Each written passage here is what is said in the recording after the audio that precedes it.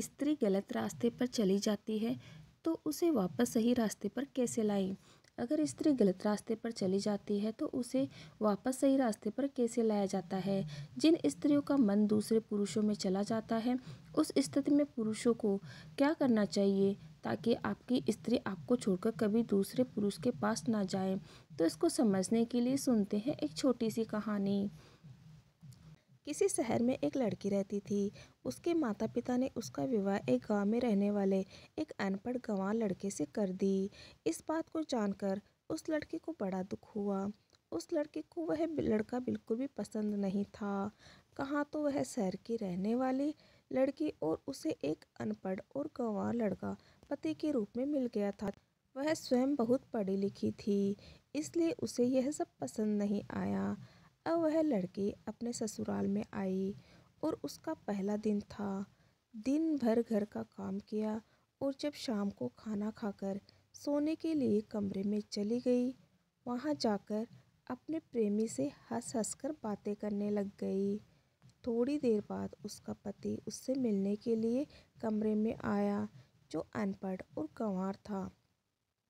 अब जैसे ही वह कमरे में आया तो उसे देखकर उसकी पत्नी दूसरी तरफ़ मुँह फेर लेती है और अपने पति से कहने लगती है, तुमने मेरे पास आने की हिम्मत कैसे की? अगर तुमने मुझे छूने की कोशिश भी की तो मैं यहीं पर। इसी क्षण अपने प्राण त्याग दूँगी। मैं हाथ जोड़कर निवेदन करती हूँ, तुम यहाँ से चले जाओ और कहीं दूसरी जगह पर जाकर सो जाओ। मुझे अकेली छोड़ दो अब उसकी यह बात सुनकर उसका पति वहाँ से चुपचाप चला जाता है क्योंकि वह सीधा साधा और एक सज्जन आदमी था। फिर वह आँगन में आकर सो गया। अब इस प्रकार से पूरी रात गुजर गई, परंतु वह उसकी पत्नी के कमरे की तरफ़ नहीं गया और इधर वह पत्नी पूरी रात अपने प्रेमी से बातें करती रही।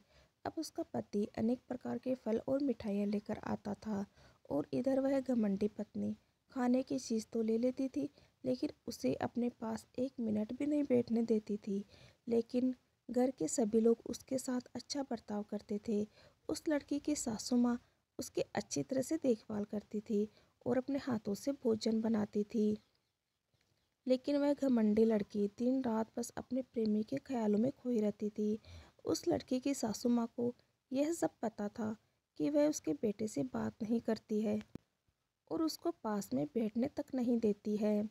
फिर भी उसने अपनी बहू से कुछ नहीं कहा।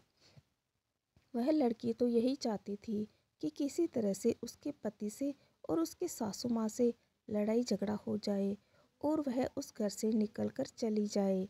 हर समय वह अपने पति को नफरत भरी नज़रों से देखती थी और अपनी सासू माँ को उल्टे और कड़वे बोल बोलती थी। इसके बावजूद भी उसका पति और उसकी सासू माँ उसे कुछ नहीं कहते थे। अब वह लड़की अपने प्रेमी से कहने लगी, अब मैं तुमसे विवाह करना चाहती हूँ। मैंने इस घर से रिश्ते नाते तोड़ने के लिए कई बहाने ढूंढे, लेकिन कोई भी मुझे कुछ नहीं कहता है। मैं तो दिन रात यही सोचती हूँ कि किसी बहाने इनसे लड़ाई झगड़ा हो जाए और इसी बहाने रिश्ता तोड़कर मैं हमेशा के लिए तुम्हारे पास चली आऊँ। पर ऐसा कोई मौका ही नहीं मिल रहा है। अब तुम ही बताओ, मैं तुम्हारे पास कैसे आऊँ? तब वह लड़का कहता है, मैं भी यही सोचता हूँ मेरे मन में भी ऐसे ख्याल आते हैं कि तुम मेरे पास हमेशा हमेशा के लिए आ जाओ। भला कब तक तुम मुझसे छुप छुप कर मिलती रहोगी? तुम एक काम करो, तुम्हारे पास में जो कुछ भी पैसे हो, तुम उन पैसों को लेकर मेरे पास चली आओ। हम कल ही इस गाँव को छोड़कर कहीं दूर चले जाएँगे। लड़की कहने लगी, मेरे पिताजी ने दहेज में दो लाख नगद और कुछ गहने दिए थे। वह मेरे पास ही रखे हुए हैं और मौका मिलते ही मैं इन्हें लेकर तुम्हारे पास चली आऊँगी।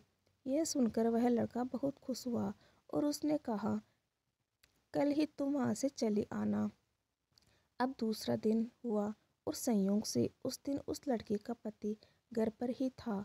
उसकी छुट्टी थी। उस दिन वह काम पर नहीं गया। अपने पति को घर पर देखकर वह लड़की बड़ी गुस्से में हुई और सोचने लगी आज यह यहीं पर रहेगा। तो मैं अपने प्रेमी के पास कैसे जाऊँगी? इसके होते हुए गहने और रुपये कैसे निकाल पाऊँगी?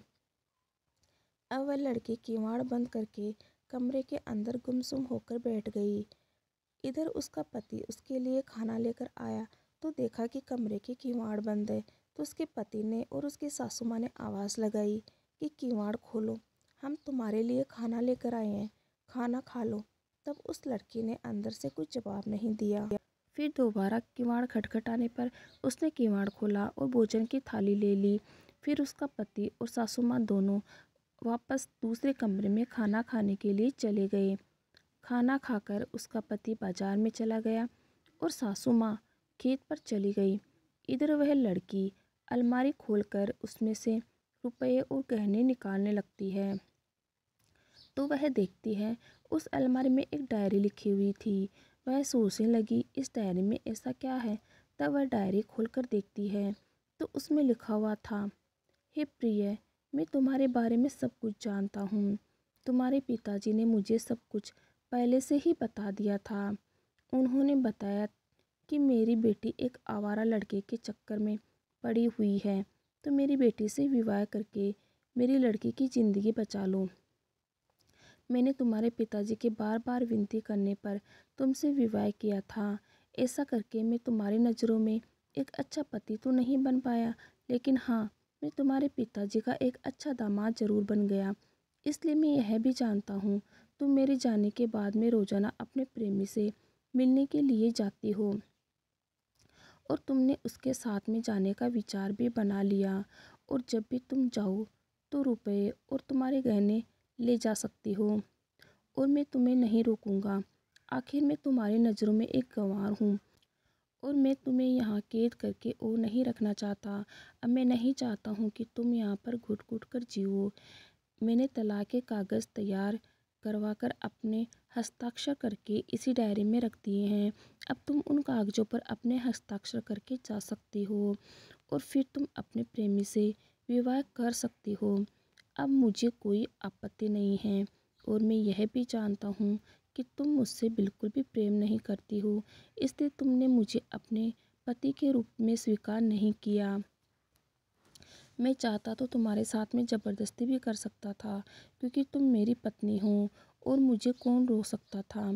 लेकिन मैं तुम्हारे प्रेम को जीतना चाहता था और मैं यह भी जानता हूँ, तुम्हारे दिल में अब मेरे लिए कोई जगह नहीं बची है। प्रिय, मुझे इस बात का दुख रहेगा। तुम जहाँ भी जाना चाहती हो, जा सकती हो, लेकिन मेरी एक बात याद रखना। अगर भविष्य में यदि तुम पर कोई भी परेशानी आए तो उस समय तुम अपने गंवार पति को एक बार याद ज़रूर कर लेना। मैं तुम्हारे किसी भी परिस्थिति में साथ देने के लिए तैयार हूँ। उस डायरी में लिखी हुई बातों को पढ़कर उस लड़की की आँखों में आँसू आ गए और उसके दिल में अपने पति के प्रति प्रेम जाग उठा। अब वह लड़की अपने पति के बारे में सोचने लगी कि मेरा पति तो मुझे इतना चाहता है कि मेरी खुशी के लिए उसने इतना बड़ा त्याग किया। मेरे पिता की इज़्ज़त के लिए और मेरे लिए वह सब कुछ हँसते हँसते बर्दाश्त करता रहा। आखिर कितना बड़ा हृदय है उसका। पत्नी के ऐसे कुकर्मों को देखकर दुनिया का कोई भी पति चुपचाप नहीं बैठ सकता। लेकिन मेरा पति सब कुछ सहन करता रहा। मैं कितने बड़े मूर्ख हूँ जो ऐसे पति को छोड़कर उन पैसों के लालची के बहकावे में आकर उसके साथ जाने के लिए तैयार हो गई हूँ। वह तो सिर्फ़ पैसों के लिए मुझे झूठा प्यार करता है, लेकिन यह मेरा पति ऐसा नहीं है। इसने आज तक मुझसे एक रुपये भी नहीं मांगा है। फिर उस लड़की के सब कुछ समझ में आ जाता है और वह अपने प्रेमी को हमेशा के लिए भूलकर अपने पति और सासू माँ के साथ रहने के लिए तैयार हो जाती है।